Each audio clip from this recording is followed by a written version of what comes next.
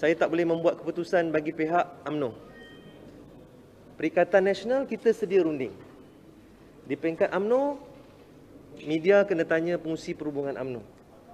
Saya bercakap sebagai pengusi Perikatan Nasional Melaka, saya dah berunding dengan Pesuruhjaya PAS Melaka dan juga pengusi Gerakan Melaka, kita bersetuju untuk berunding.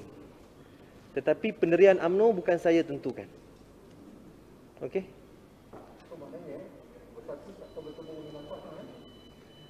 Sudah tentu kita dalam satu parti komponen Perikatan Nasional, kita tidak akan bertembung. Bersatu, PAS dan gerakan tidak akan bertembung sesama kita.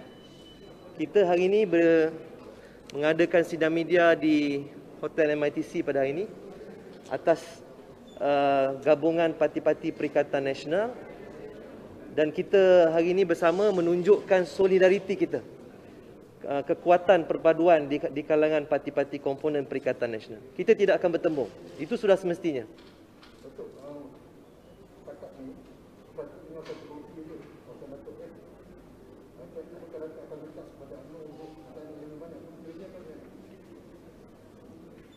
Saya dah beritahu tadi, kita terbuka kepada perundingan.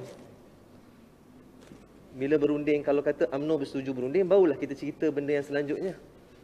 Selagi kita belum dapat keputusan UMNO, saya rasa tak perlu saya secara detail memperincikan kerusi dan sebagainya. Itu terlalu jauh. Kita menanti keputusan UMNO untuk berunding dengan kita atau sebaliknya. Itu biarlah UMNO tentukan.